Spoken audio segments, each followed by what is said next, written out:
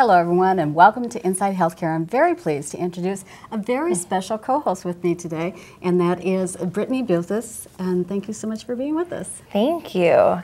Joining us today to talk about the flu vaccination and the shot is Dr. Chris Restad with the newest HealthEast Stillwater Clinic. Thank you for being with us. Thanks Dr. for having Restad. me.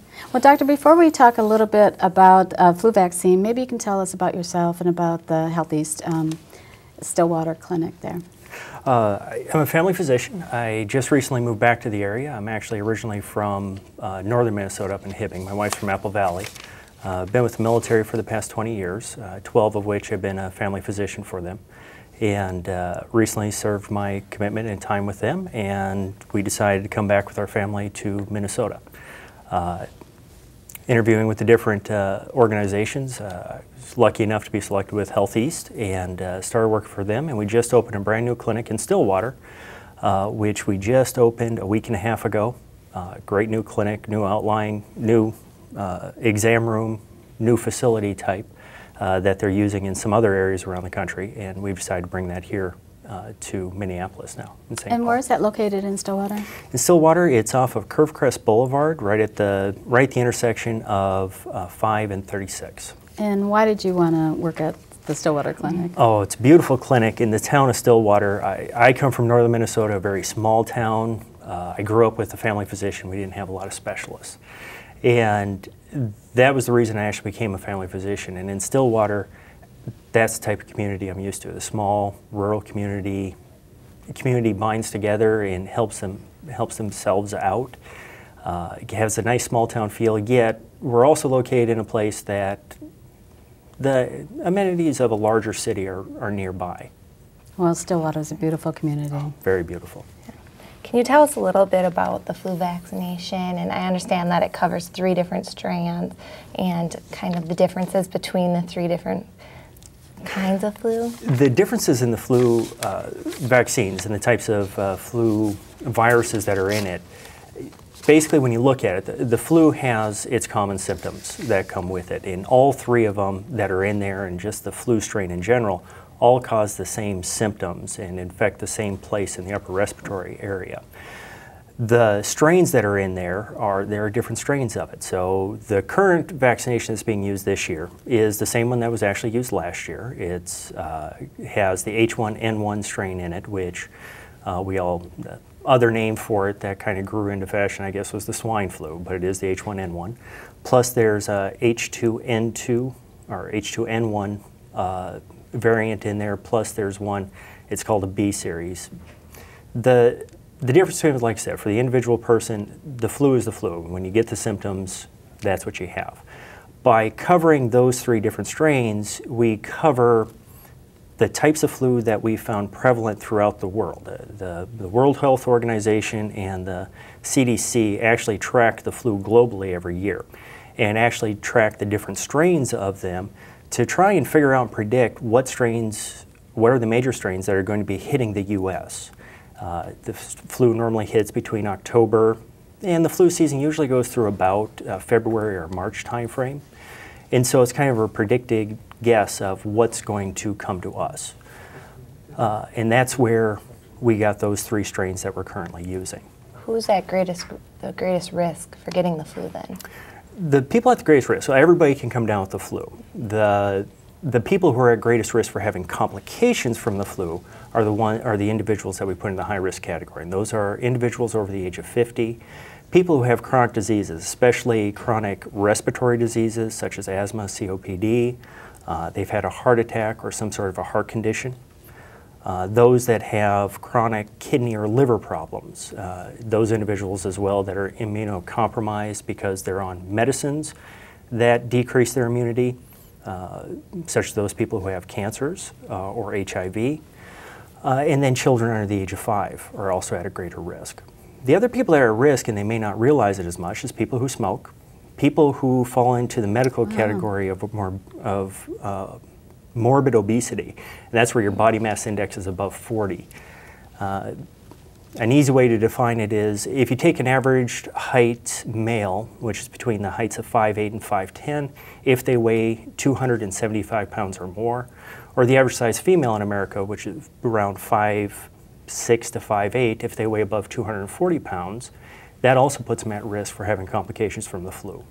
And so those are the high risk individuals. And then anybody in contact with those individuals, because if you have the flu, you can carry it to them, are also considered high risk. And that would be maybe healthcare workers and things like that. Healthcare workers, um, really just about everyone, especially in the United States. Uh, How many people are not in contact with somebody that falls into those categories at some point during their day? We also like those, in, those uh, individuals uh, immunized as well to prevent them being able to pass it to somebody else. You know, it seems like I've been hearing um, some cases already early, and it seems fairly early for me, um, of cases of upper respiratory type, sudden flu sounding type symptoms. Are you seeing that in the clinic as well? Yes, uh, we are into the season now, and usually lighter cases now, and they'll start growing as, uh, as winter comes around, the heaviest season. As I said, it goes between October and March. Um, November, December, usually a little bit higher time frame. If you're in the southern hemisphere, it's during their winter months, which is uh, starts in May and goes through June, uh, or May through October, and now for us, October on through. And uh, yes, we're starting to see it. The flu, a little bit different than most viral infections. Uh, I mean, almost every viral infection is going to cause a fever, which is where you have a temperature above 100 degrees. Uh, most viral infections, though, especially the upper respiratory, that fever only lasts for about 24 to 48 hours. With the flu, that can go from about two to five days in length. Uh, plus, you get the headaches, muscle aches that go with it. Uh, with the elevated temperature, you get dehydrated. Um, and some people will get a cough and a sore throat with the flu as well. And I think oftentimes people say, oh, I had um, vomiting in that, and that's not associated with the flu. Those are other type of Those are usually other types. It's Yeah. some influenzas you can get some mild vomiting. Uh, usually that comes from the dehydrated, the dehydration portion of it, and why we're so. When you get it, yeah, make sure you're drinking plenty of water. What's the difference between the flu shot and the nasal spray vaccine? Uh, in the way that uh, they're delivered. Number one, the way they're delivered. The the injectable that we give through the muscle is a inactivated virus. So there's not a live virus inside there. It's Which the means you can't get the flu from the flu you shot. You can't get the flu shot. Will you have muscle aches around where we injected it? Will you feel slightly fatigued, maybe even have a mild fever for 8 to 24 hours after getting it? Yes, uh, we're trying to stimulate the immune system. The immune system gets stimulated, you get mild fevers, you get achiness. It's your body's response to something foreign being in the system. But there's no live flu inside of it.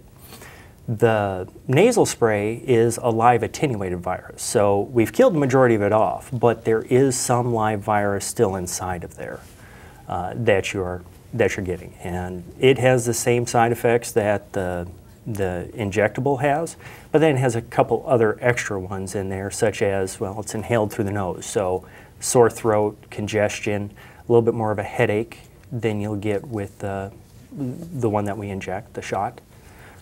And because it's also a live attenuated viruses, uh, virus in there, there are some people we don't want to receive that, such as those who are pregnant, if they are immune compromised, such as HIV, or have a malignant cancer, if they have diabetes, or some sort of a respiratory uh, chronic illness, such as asthma or COPD. Uh, the nasal one is not meant for them. It's mainly for the age categories of 19 to 49.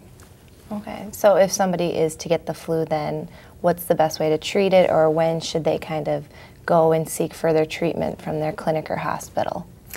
Uh, treatment for it is symptomatic care. In other words, uh, we have a couple medicines out there that can help treat the flu, but really they're for the people who are at more risk of developing complications.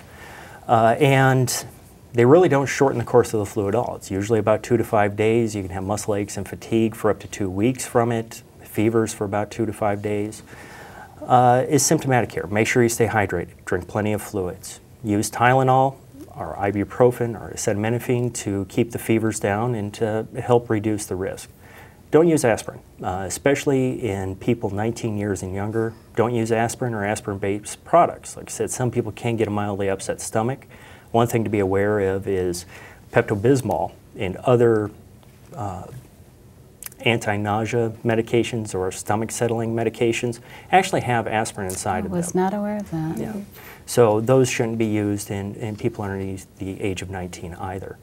Uh, hydration, rest. Your body's going to be tired. It's fighting, it's fighting off a virus. So give it rest, relax. Take a couple days off, recoup, and you'll be able to go back. Now, during that, when should you go and see your provider? Well, if you're starting to get shortness of breath, if the fever is going beyond five days, or if you notice that you can't keep enough fluid in, okay, you're getting severely dehydrated. One of the ways to tell is when you do go to the bathroom, check the color of your urine. It should be a light yellow to clear. If it's turning dark yellow or brown, you need to seek medical attention. In children, some other things to watch for is with their breathing. Uh, are they having to, a lot of times kids can't tell you. Well, if you notice when they're breathing that as they suck air in, the skin is collapsing between the ribs. Or if they're grunting when they breathe, or they're having periods where they're not breathing, you need to seek medical attention quickly.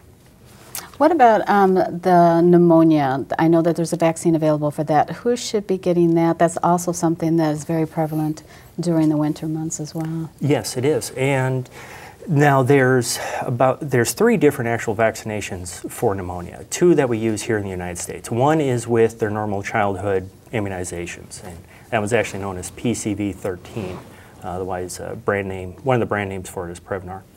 Uh, that's actually given with their with your childhood immunizations. It's a series of four. Now there is another vaccine that we call the pneumococcal, which is uh, PCV23. There are some high risk individuals for that, usually 19 and over. Number one, anybody over the age of 65, we actually want them to get that. There's actually been some great studies showing that if they receive that immunization and also their flu vaccine, it significantly reduces their chance of having pneumonia and especially having a pneumonia which they end up admitted to the ICU or end up dying from. Uh, if you're over the age of 65, it's a one-time shot. If you have some chronic illnesses, and your doctor will tell you if you need them or not, such as you've had your spleen removed, uh, again, chronic respiratory, kidney, or liver diseases or cardiac diseases, we'll want you to get it earlier. Um, and then every once in a while, a booster that goes with that. Okay, so you would recommend then, or wouldn't Oh, yes. recommend for children for, to get the pneumonia vaccine? Yes, I would recommend, oh yes. Uh, vaccines are, it's actually pretty interesting when you look back at the research of it. When the pneumococcal vaccine first came out, it was actually back in 1945. It came out at the same time aspirin did. 1945. Wow. 1945, eh, excuse me, the same time not aspirin did, but same time penicillin did. Okay. And uh, interestingly enough, they found out that it worked. But penicillin came out on the market, and because they had an instant cure for it, they decided not to use the vaccine. And it wasn't until the 1970s and 1980s that we started seeing resistance to penicillin and other antibiotics to the pneumonia that we finally came back to the vaccines. Because we found if we can get the body to generate its own response to it, it is much more successful than our antibiotics are. And are there possible side effects from vaccines? Yes, we are stimulating the immune response. After you get a vaccine, will you feel slightly feverish? Will you have some mild aches? Will you have pain around the injection site? Yes, you will. Uh, but in the risk benefit ratio, the benefits of the vaccine so outweigh any risk that may come from it that yes, vaccinations are How miracle. old should children be if they get the pneumonia vaccine? Well, as I said, they're already getting the pneumonia vaccine uh, through their normal routine childhood immunizations. And hopefully they're getting those. Yes, Yeah. they're getting those. Okay. And uh, that's also part of the state program in which Mm-hmm. uh, child, it's one of them that's checked for as they start school to make sure Mm-hmm. that they've had it. So they're already getting it. Uh, the others who need the additional pneumococcal vaccine, uh, usually they have some other chronic illness that goes with it, and their physician should be talking to them about it. The largest group that we actually miss on are the 65 and over population that are not getting it as they again enter into that higher risk side of it. And quite a few of them maybe don't go see their provider on an annual basis, or the last time they went to see them, they were 59 and I'm doing fine. Why do you need to go see a doctor? Mm-hmm. But about age 65 is when we want to give that vaccination again to prevent things later. And I understand if you're hospitalized too, that they will ask if you've had your flu shot pneumonia shot, and they will give you those in, during your hospitalization as well. Then. Yes, and I know in the clinic uh, that I'm in right now, and all the HealthEast clinics as well, uh, now we have the flu vaccine available. You come in for an appointment, we're going to ask you if you'd like to get it today. Um, there's very few things that we, you know, you come in even for a sprained ankle or maybe even a slight cold, you can still get the flu vaccine at that point. There's, you know, there's a couple cases where we'll say, yeah, you know, your temperature's up a little bit, maybe you shouldn't get it today, why don't you come back in a week? But we have that available now, as to most clinics, and as you come in, we'll be offering it. You know, talking about those childhood immunizations, one of them that they immunize against is measles. I'm old enough that I actually got the measles before that, that was around. But we recently had some outbreaks here in Minnesota of some children got very, very ill with measles, hadn't gotten their measles immunizations. What advice do you have for parents? Uh, that uh, came to be an unfortunate case. Uh, there are areas in the world that still have endemic measles, and we do give the vaccination starting at uh, six months uh, to children. It can be given earlier in life, but measles is not that common in the United States. Uh, there are some other areas in the world that it is endemic to, and they do, so they actually give it at an earlier age. Um, and as this outbreak happened, it was somebody who was not vaccinated from another country that came to the U.S. and their, child, their child had the measles when they came in. Uh, luckily, we've been able to identify that area and uh, treat the children and actually get their vaccine, the, the children that are in the United States, get their vaccine a little bit earlier to prevent that from happening.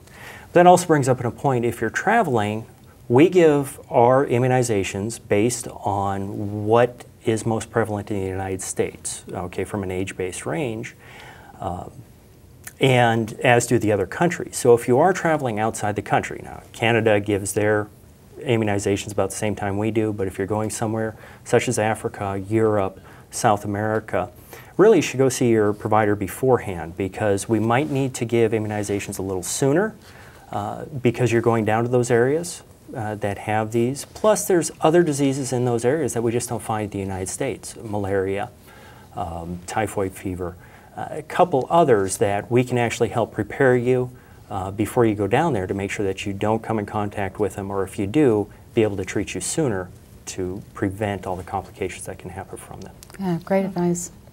Going back to the flu and pneumonia, um, I have cousins that I've cared for that have gotten RSV and I know that's something that kind of comes in the winter months. What exactly is that, and what should parents know about that? Uh, it's a virus, a lot like the flu. Unfortunately, we don't have a vaccine for it yet.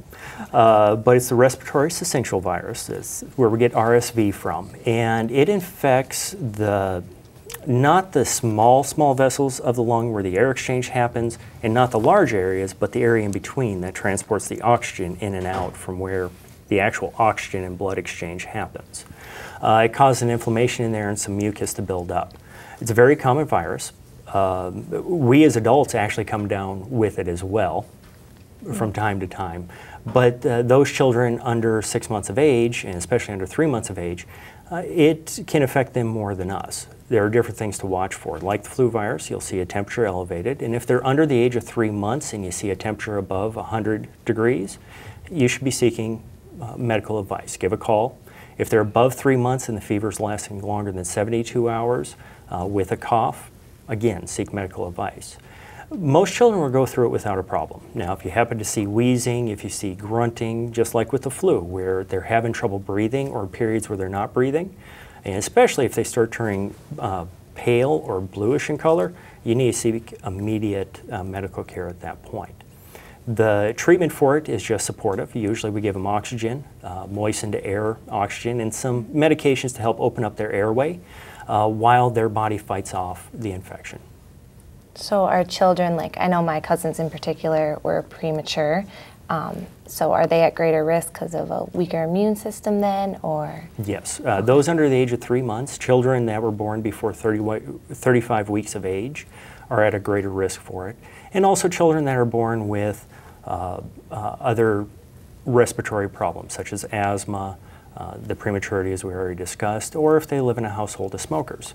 Uh, that too that, that secondhand smoke irritates the lung, the lung linings, and in a newborn infant, that's very irritating to them. And they get a normal virus that other kids are able to fight off, they're already fighting something off. It makes them a little more susceptible to needing medical care to be able to get through that illness. Okay. Are there any final comments or anything that families should know with the upcoming flu season and how they should prepare for their households? One of the best ways is A, get your flu shot, get your flu vaccine because with it, you may still get the flu, but it actually reduces how long you'll have it and also reduces your ability to transmit it because your body's able to fight it off quicker. So definitely get your flu vaccine. It's one of the best things you can do for it. The other is uh, basically hand washing. Uh, when you cough or sneeze, we actually try to recommend people don't sneeze into your hands. Go into your elbow, mm-hmm. okay? Nobody shakes your elbow, they shake your hand. So if you need to sneeze or cough, cough into your elbow after touching your mouth. If you're feeling a little under the weather, and anytime you touch your mouth, your eye, your nose, make sure you wash your hands uh, before contacting other people. Uh, stay hydrated and uh, enjoy life. Yeah. Great advice. So if um, our viewers would like more information about, about um, the HealthEast Stillwater Clinic, the number is on the screen. That's 651 471 5600.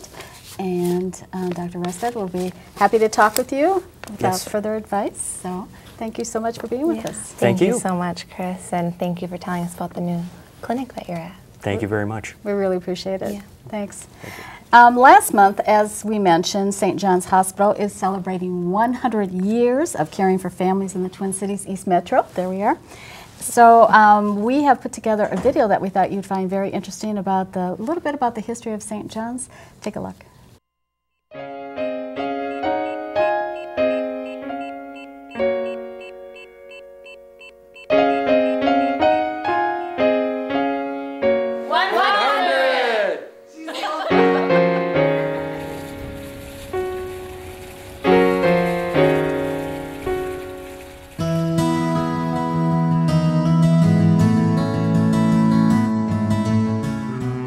1911 was a time when steamboats and railroads linked St. Paul with the rest of the country.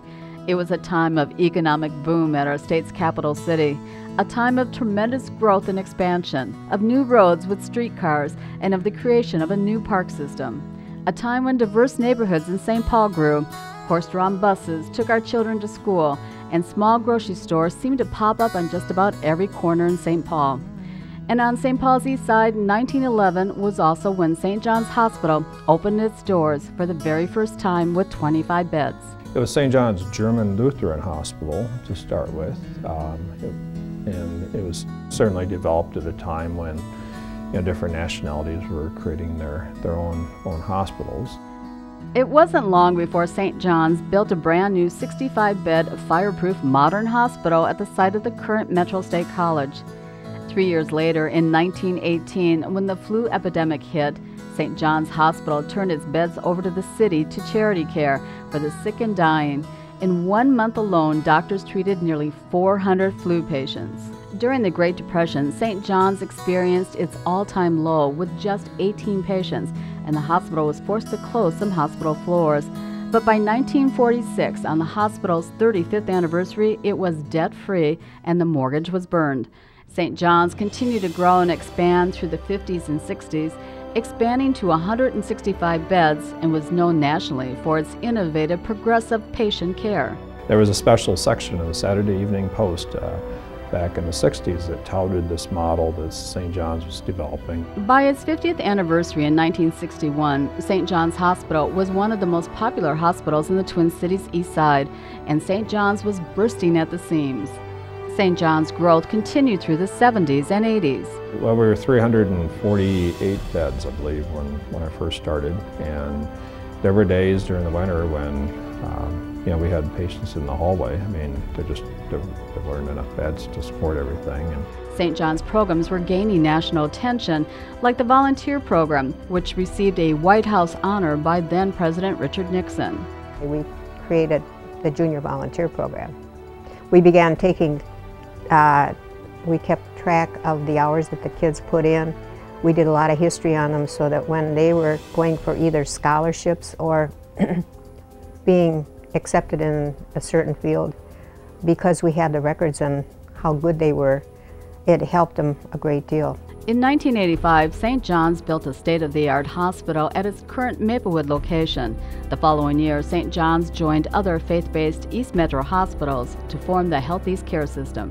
From the very beginning, St. John's has always been a leader in healthcare and continues to be so today as the first community hospital in the Twin Cities to offer a robot assisted surgery to treat prostate cancer patients. All the way through, uh, there was innovation. There was always forward thinking, and uh, I guess that's the thing that's been exciting. At the heart of St. John's century of tradition are the dedicated nurses, physicians, and staff who have been caring for patients in St. Paul and the Northeast Metro for 100 years. I think the, uh, the combination of its faith-based heritage and, and the employees, it's a long tenured group of, of staff and they provide excellent care and, and that's the business we're in is giving care to patients and that's where the rubber meets the road. So I think it's the employees in the end that make such a difference. Thanks to our dedicated staff, St. John's has been named one of the top 100 best places to work in healthcare in the country by Modern Healthcare magazine, and one of the best places to work in Minnesota by the Minneapolis St. Paul Business Journal, and one of the top metro hospitals in the Twin Cities by U.S. News and World Report. Over the last hundred years, just uh, enormous responsibility to our community to provide high quality care, safe care, and I'm just so proud of what we've been able to do over the history of St. John's. A history dedicated to our community and the people we serve. It was just another example of how compassionate and caring and comforting everybody that I that I touched um, in that kind of surround sound of, of care. A century of caring. I can't imagine a better care than what I've received from from the first day and, until until now. A century of quality care. To everyone at St. John's, happy 100th anniversary. I'd like to thank St. John's for inviting me to celebrate with the donors, supporters, and employees, the best employees in the area. Thank you all for providing our community with quality, comprehensive health care. And I know that St. John's will remain an anchor in our community well into the next century. Congratulations once again and thank you for your service to our community. May you continue to carry St. John's tradition of excellence through the next 100 years. For the people in our state who rely on your services, you are a source of comfort and a beacon of hope. Your hospital and the entire Health East Care Network is part of the reason Minnesota has emerged as a national model for quality health care. You should all be enormously proud of that, and I want to thank you for your great work, not just on behalf of your patients, but for the whole community. Congratulations on your 100th anniversary. Congratulations again on 100 years. That's, uh, that's pretty special. I'm very thankful and appreciative uh, for everyone who's played a part in the history of St. John's and who will be playing a part uh, for the future of St. John's.